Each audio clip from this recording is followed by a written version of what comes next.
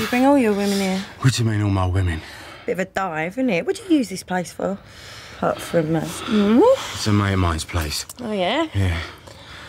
And it's our little secret, right? Well, I ain't gonna boast about it. It's hardly the Savoy, is it? Oh, I didn't know we was here just to look at the decor. I've got to get back. To Yvonne. Now, don't start. And you got to get back to your old man, right? I'm only asking you to stay a bit longer. Oh, shit. That'd be the restaurant now. Yeah, man in a hurry. I am as it happens, yeah. Hello? Oh. Hello, Soph. What?